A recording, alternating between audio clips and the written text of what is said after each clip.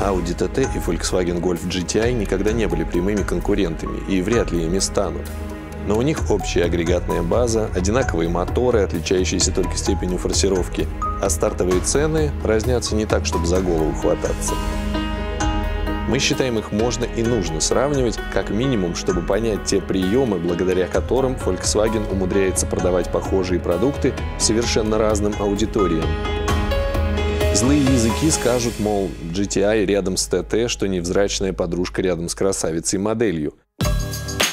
Да, желтый хэтчбэк, а Audi именно хэтч с подъемной задней дверью с ног сшибателен, особенно со спортпакетом. Но и GTI симпатичен по-своему. Современен, узнаваем, в меру спортивен, даже если скучен, то только на фоне яркой во всех смыслах ТТшки. Салон Audi подкупает высочайшим качеством сборки, дорогими материалами, продуманной эргономикой. Сидишь низко, с прямыми ногами, крыша не давит на голову. Интересно сделан блок однозонного климат-контроля. Кнопки управления вписаны в дефлекторы обдува. Немцы отказались от центрального дисплея в пользу виртуальной приборной панели, на которую выводится вообще вся информация. Решение на любителя. Из Audi в Golf словно в типовую квартиру после суперсовременных апартаментов. Классическая приборная панель, живые стрелки, все привычно. Обстановка не бедная, податливого пластика хватает, кожа на руле шершава. Плюс в гольфе изначально установлены отменные спортивные кресла. В Audi за такие надо доплачивать. В салоне довольно просторно, а список оснащения богат, но мультимедийный комплекс уступает и по скорости, и по качеству картинки.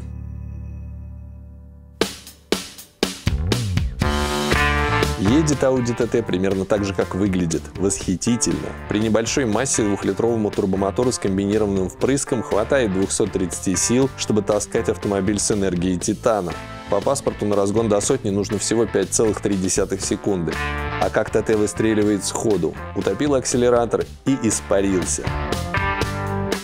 Робот-эстроник с двумя сцеплениями – преданный союзник. Переключается быстро, эмоционально. Можно прыгнуть хоть на три ступени вниз, без ощутимой паузы.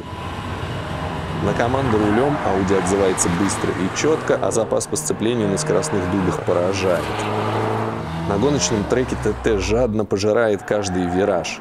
И только тормоза, к которым не было вопросов на общественных дорогах, тут оказываются слабым звеном.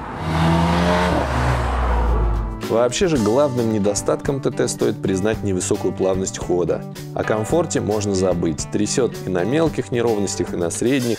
Одна радость – подвеску не пробивает. Гольф GTI в целом спокойнее. Отдача мотора всего на 10 сил меньше, но общий градус ниже.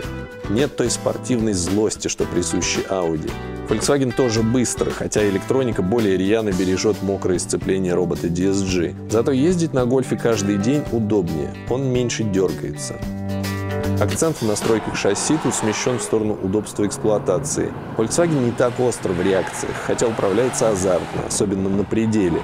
И вместе с тем гольф комфортен. Зуд от микропрофиля полотна отсутствует, а почти все ямы колдобины подвеска расщепляет на атомы. Да и шумоизоляция у гольфа чуть лучше, чем у Audi. ТТ и Golf GTI отличаются сильнее, чем мы думали изначально. Это касается всего, начиная от внешности и салона и заканчивая ездовыми манерами. В результате нельзя сказать, что какой-то автомобиль лучше или хуже другого. У каждого есть свои ключевые преимущества. Хочется гонять, не жалея ни себя, ни пассажира, падайте в ТТ, жмите на газ, и с Audi будет не скучно. Если ваш разум способен договориться с сердцем, то они совместно выберут GTI. Он не так крут, но и не требует ежедневных жертв.